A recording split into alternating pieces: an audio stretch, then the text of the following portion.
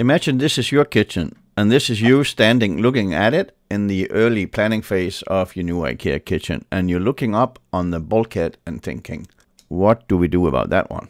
Well, you came to the right place because in this video we're going to discuss the bulkheads sitting on top of our kitchen cabinets sometimes. And sometimes we also have closed off the gap between the upper cabinets and the ceiling. And the initial thoughts of many is to take everything down. But I got to tell you, that's not always a great idea because in many cases we can have a ton of cables and wires and ducts and whatnot in that space. So we want to think twice before we tear everything down. And in this video, I will give you a few tips on how to determine whether you should leave them in place or not. And I will also share with you what you need to do if you decide to keep them. So let's get started.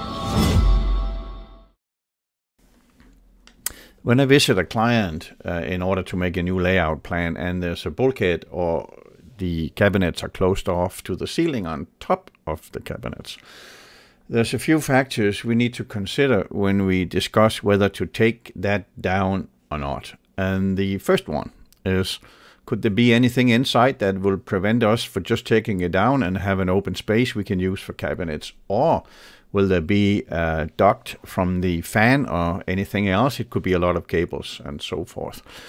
And uh, the next thing we look at is the ceiling height. Because sometimes there isn't sufficient ceiling heights to have cabinets running all the way up, so taking down the bulkhead might not be the best option anyway. And the last thing we look at is the footprint.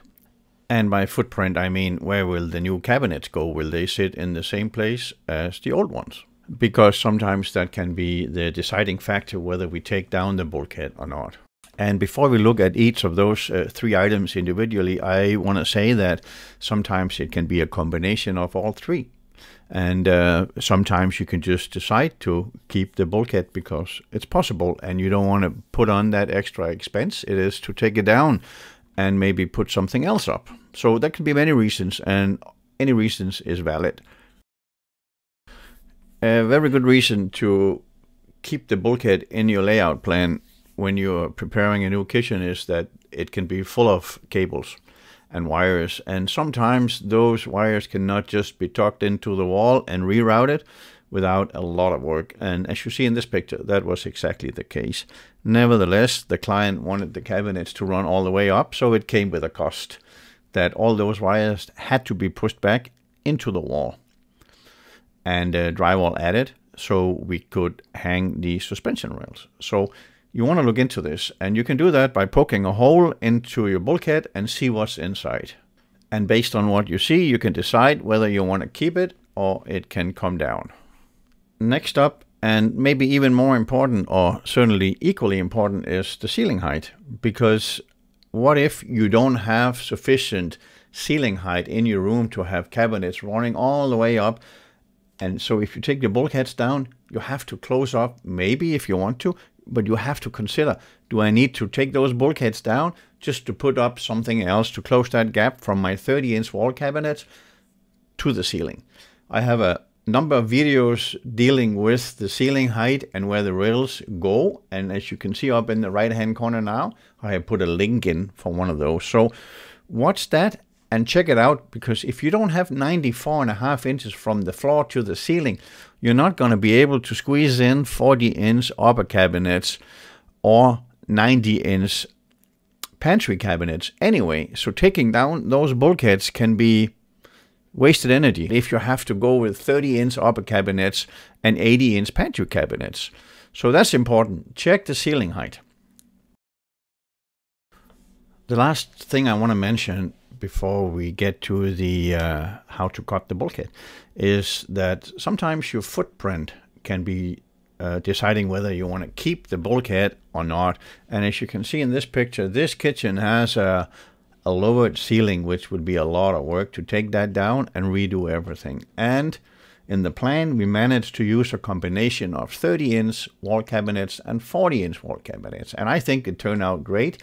And it would have been so much work to take down that area of uh, lowered ceiling just to get 40 inch uh, cabinets all over. And this kitchen is fairly big, so there's plenty of storage room nevertheless. So look at your footprint and decide whether you can keep that bulkhead or lowered ceiling in your new kitchen. Sometimes it makes sense.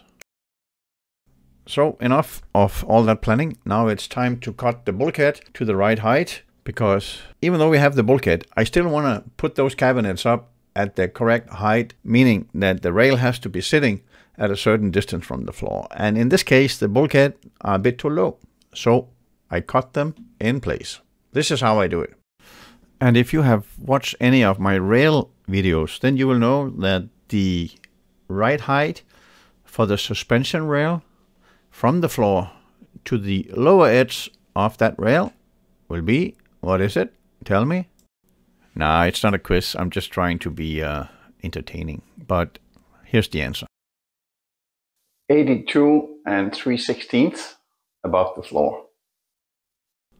That's right. The distance from the floor to the lower edge of the suspension rail is 82 inches and 3 16ths if you have 30 inch uppers and or 80 inch pantry cabinets.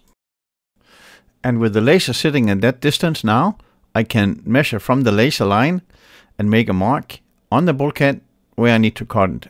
And that distance, what is this now? 2 inches and 5 eighths.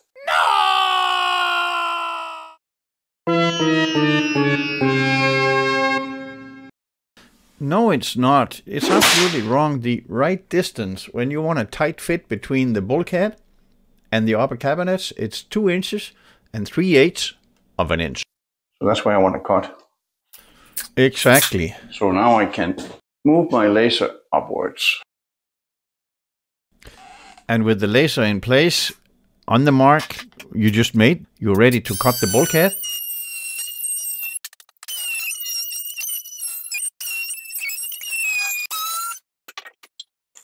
And when the uh, bulkhead has been cut away, you're ready to put up the rail and hang the cabinets. When you have a tight fit to the bulkhead or the ceiling, it can be a little bit uh, tricky to hang the cabinet. So I have a video showing how to do just that as well.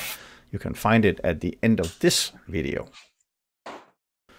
And now before you go, let me just show you one final tip. And that is if you have a uh, vertical duct coming down like the one you see in the picture that is for the vent hood.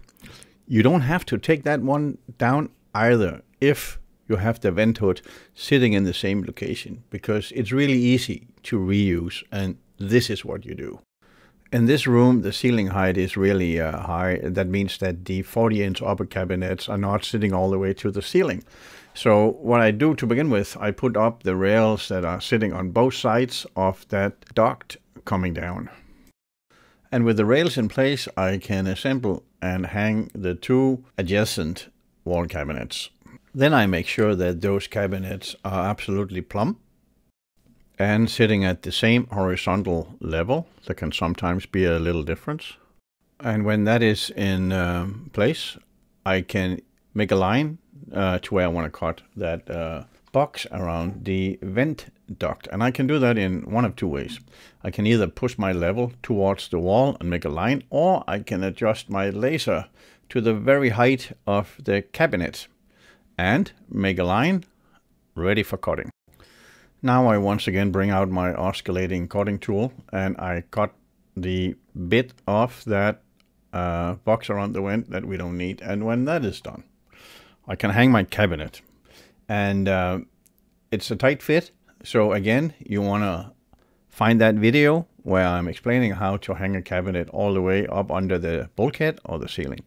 That will give you those tips you need to make it go in very easy. And that's it. I hope you liked this video and I do hope that you will subscribe to my channel. Thank you so much.